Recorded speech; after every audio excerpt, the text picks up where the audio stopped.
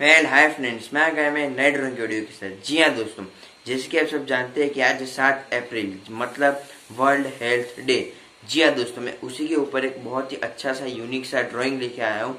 दोस्तों, आज का ड्राइंग कोरोना से रिलेटेड भी होने वाला है और इंडिया वालों के लिए भी होने वाला है। मतलब आज का drawing three in one drawing है। So start our today's video